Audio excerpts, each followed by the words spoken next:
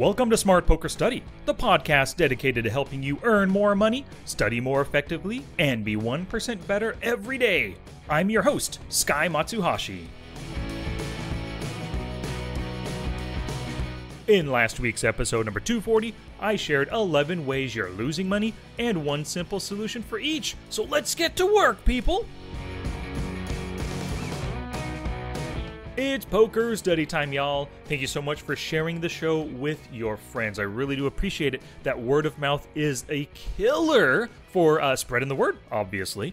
And also want to thank my newest Patreon supporter. His name is Jonathan Mitchell. You know, I love creating the show for all of you, and it really warms my heart when people like Jonathan and every other Patreon supporter, when they jump aboard this train by going to patreon.com slash smart poker study, choosing their level of support, and then they get to it, right? I love it. So just uh, yesterday, I released the podcast reward for June that's called Discovering Poker's Fantasy Land. And the goal of that podcast is to get you to the most profitable poker situation more often. Uh, I also released the $10 reward for insiders. That's a, a, a it was a review of 12 two-bet calling hands so that you could see the kind of things that I consider before I make a pre-flop call. Alrighty, so once you begin your support on Patreon, you'll get the current month's reward as well as access to the archive of patron only content. So, for just a few dollars a month, which is less than one buy in for most of you, you will be supporting the show and you'll receive some valuable poker content in return. So, go to patreon.com slash smartpokerstudy to start your support. Alrighty, welcome to the second episode in the month of profits. There is so much that you can do to improve your poker skills when you're away from the felt, and I'm going to discuss my three favorites today. They are hand reading, daily study, and reviewing game tape. I'm absolutely in love with these three uh, tactics because they've helped me improve my game more than anything else I've ever done, and I know they will do the exact same for you. So before we get to those three things, here is the challenge. Challenge! Here's my challenge to you for this episode. Start doing daily hand reading exercise right meow. Strive to turn this into a habit by doing it every day for the next 30 days or even more.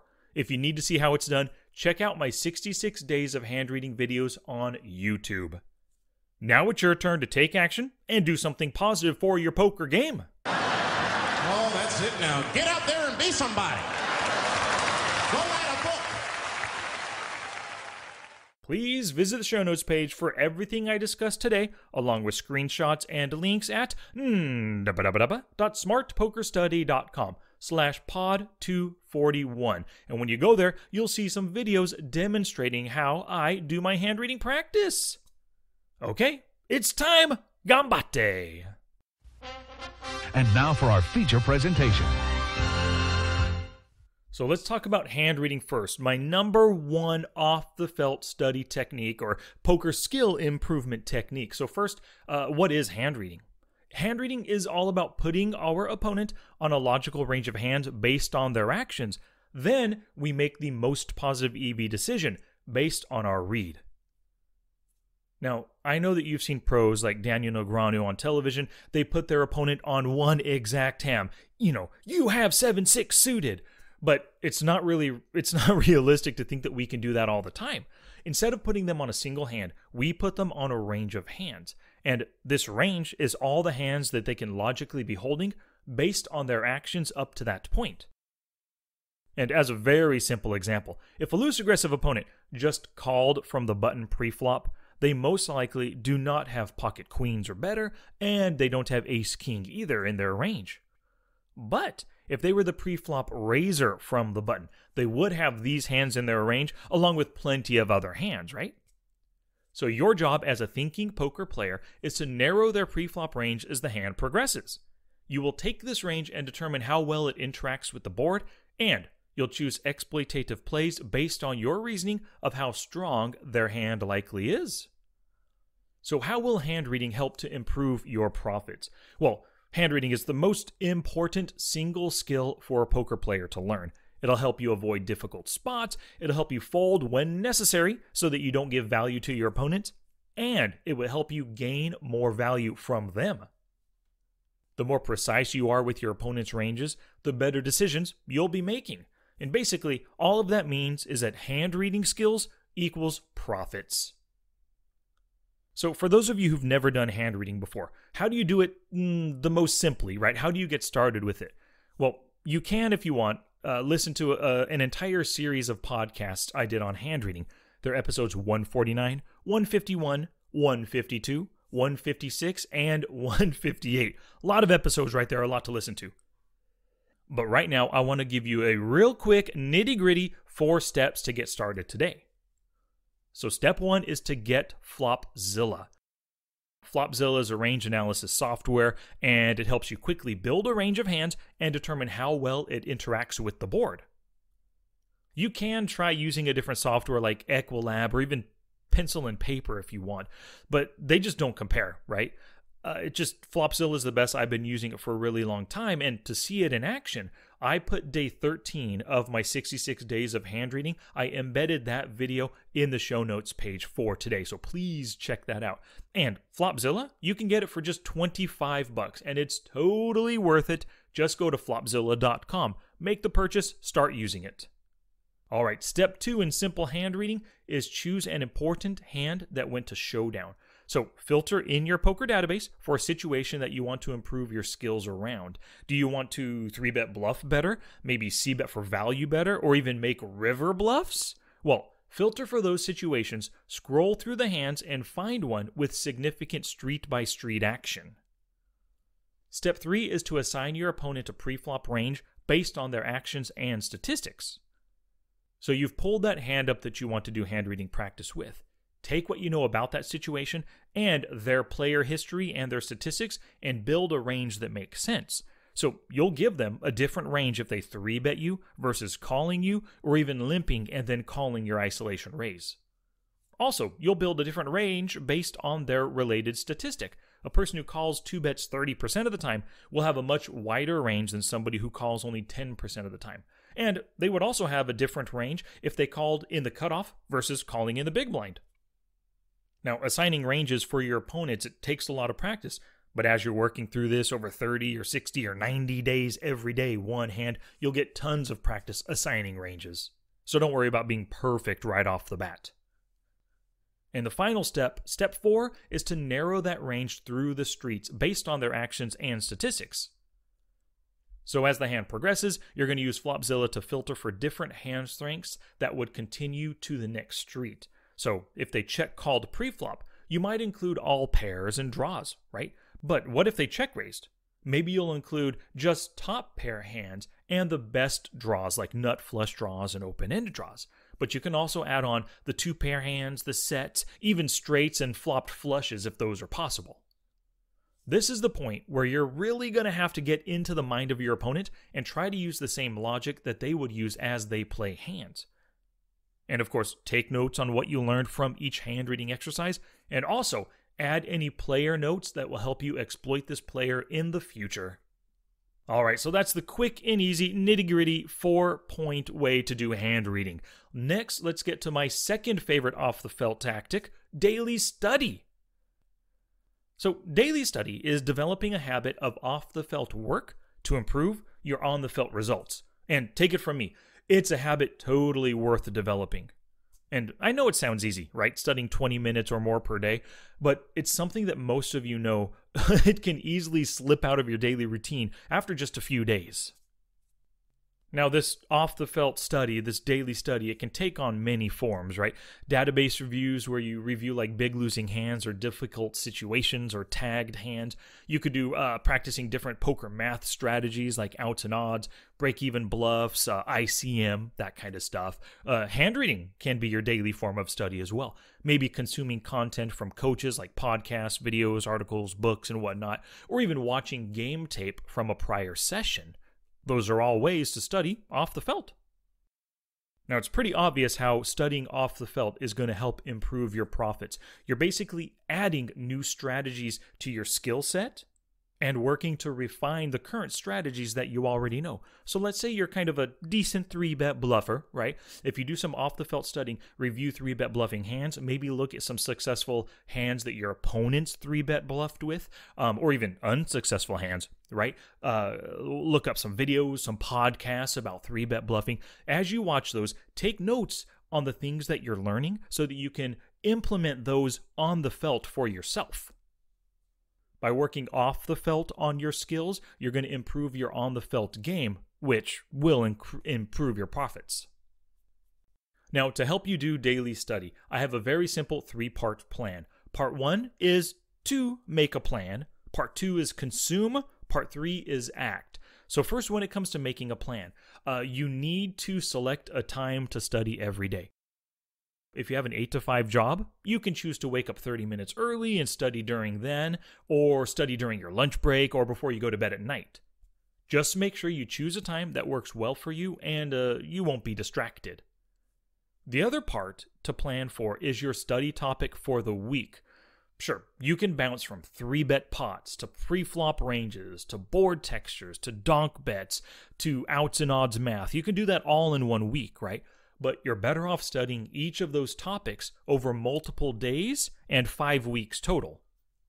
The second part is to consume. Now, this is where you'll spend at least 20 minutes doing one of the off the felt forms of study that I mentioned earlier, or something entirely new that you want to do, right? Take notes on what you learned and think of ways that you can practice it on the felt. And speaking of practicing on the felt, that's part three, which is ACT. This is where you actively practice what you're learning off the felt. Doing something is the best way to learn it. So put it into practice in your next play session, and maybe you're practicing on three betting or C betting or math skills. Focus on those in your session. Stick around because just after the break, I'm going to talk about reviewing game tape.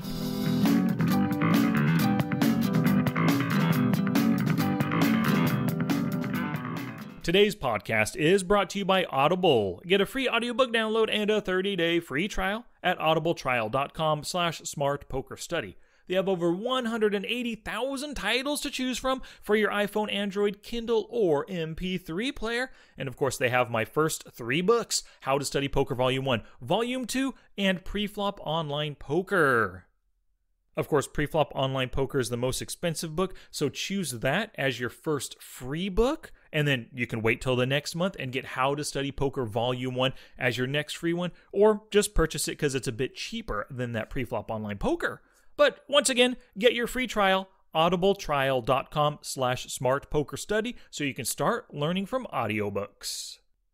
And a few shout outs today. Oliver Nolte purchased Poker Tracker 4 through my affiliate link. Um, and later on, he sent me an email like the next day. He said, I love, love, love, love my new Poker Tracker 4. I'm glad to hear that, Oliver. Um, he went to smartpokerstudy.com slash poker tracker 4. One word, uh, the number four at the end right there. And when he sent me his confirmation email, I sent him my smart HUD. He uploaded it, started using it, and hopefully he's exploiting those opponents. So thank you very much again, Oliver.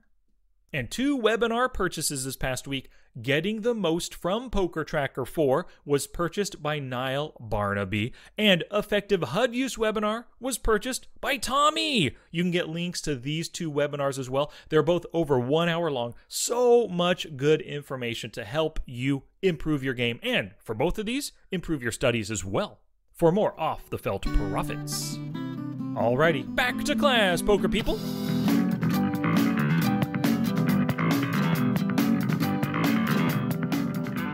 So let's discuss reviewing game tape. Now, you've heard me talk about game tape plenty of times because it's my number one recommended study technique that people just don't ever do. I'm sure you've, um, many of you listening right now, you've heard me mention game tape maybe, let's just pick a number, seven times in the podcast within the past year. And you probably have not done even one yet. So I highly recommend that you jump on the game tape bandwagon.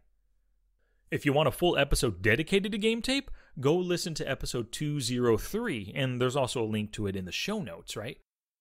So, what are game tape reviews? First off, recording game tape for your play session, it's great because it helps you stay focused on the decisions that you're making.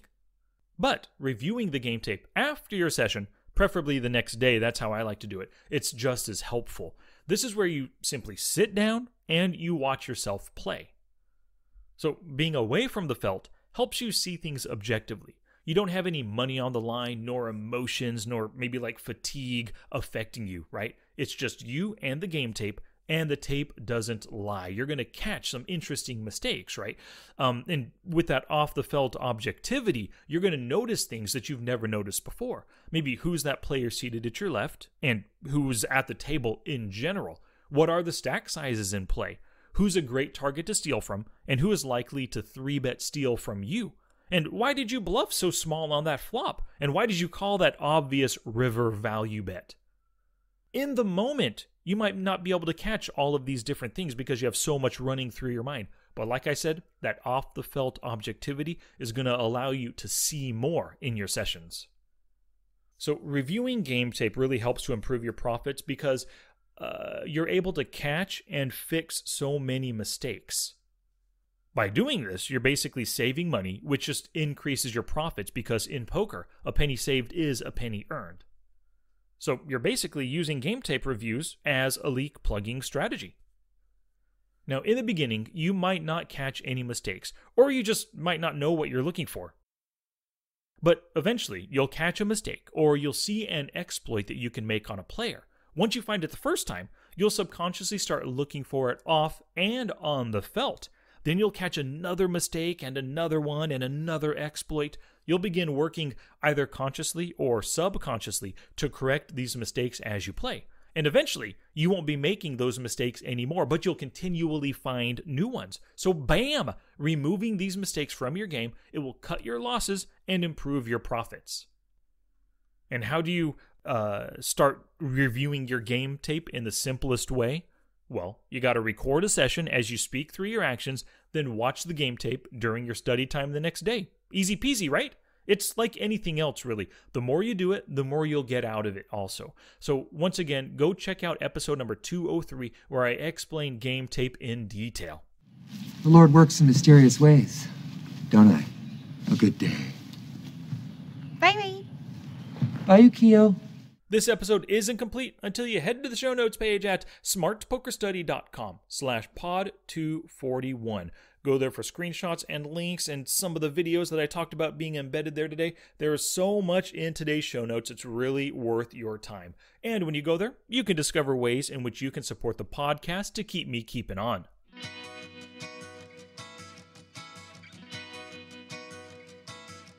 Thank you so much for listening today. If you enjoyed this episode, please tell a friend. You know, that word of mouth is incredible. Or you can even leave a glowing five star review on your favorite podcatching app. If you can type or say the word Smart Poker Study, you can find me on Alexa, YouTube, Facebook, Twitter, and Twitch. Alrighty, poker people. In the next episode, number 242, I'll hit you with a profit-related Q&A episode. Word of mouth is the best advertising, so thank you very much for sharing the show with other poker people.